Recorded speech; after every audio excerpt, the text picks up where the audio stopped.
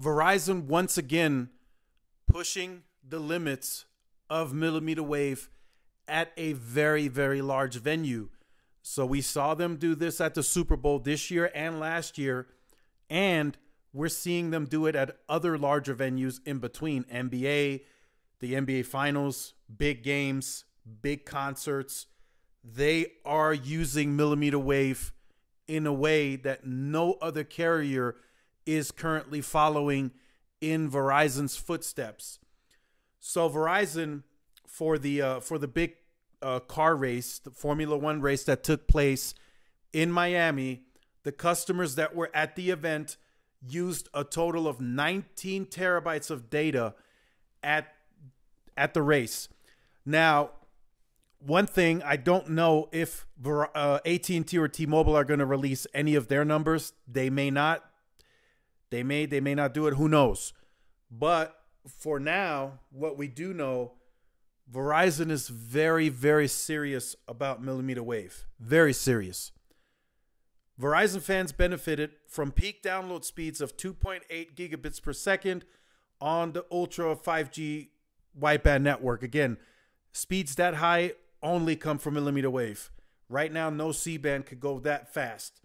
And they hit an average download speeds of more than one gig per second. So most people at the event were doing more than a gig a second. That's that's pretty impressive, and that shows you where they're taking the millimeter wave footprint. Um, I know I, I, I released a video yesterday about nodes going up. I spotted even more of millimeter wave nodes today on a different part of town. So I would like to, I'm going to probably do more research on the back end to see what Verizon saw when they crunched the numbers in response to how wide scale they're deploying uh, uh, millimeter wave versus what AT&T and T-Mobile may be underestimating here because I don't think there is no there there is no in between. Verizon is either going to look like a genius or they're going to look real dumb. There is no in between with this deployment.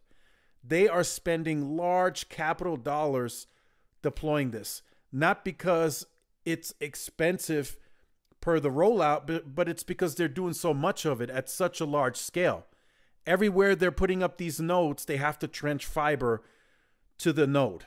So if there's no uh, fiber in that area at all, or at least their own fiber, they have to go into that neighborhood and they have to trench, you know, miles of fiber just to get fiber to where they want to place the node. So all of that is money. That that costs big money. And they're not doing three, four, five and calling it a day. No, they're putting 40, 50, 60 of these in a neighborhood. Maybe more it's hard to spot them all anecdotally driving. I would have to know more specific coordinates and addresses to really spot all of them. It's much hard, uh, uh easier to see a tower because a tower is 60 plus feet tall. So you can kind of see every time a new one gets constructed, you can see that. The millimeter wave nodes, the small cell nodes, it's harder to see them because they're they're stuck deep inside of those neighborhoods. So you really have to drive around the neighborhoods and of course, you know, that takes a lot of gas to really spot them. But today I spotted a lot of them and that had me questioning what did Verizon engineers see on the numbers on behind the scenes that made them go so aggressive on this deployment versus what, like I said, what AT&T and T-Mobile may be underestimating. Because at least here, anecdotally, not one carrier. Actually, I, I don't even have to say that anecdotally. There is no other carrier that's deploying it like like Verizon. There, there's just not. And I would assume on a more large nationwide scale, it's probably the same. I think there might be some areas where AT&T is probably close closest to to being competitive to Verizon. But other than those eight cities like New York City, Vegas, Dallas, and I think a couple of others, T-Mobile really hasn't expanded the millimeter wave at all.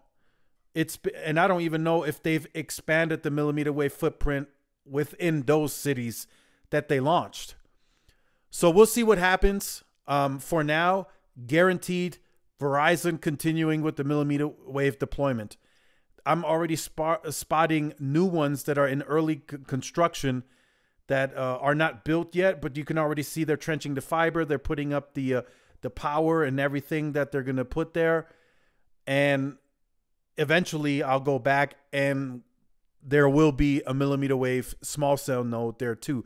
And of course, these millimeter wave notes also come with CBRS, LTE, 700 megahertz, all of that attached as well. So it's an all around enhancement for the area.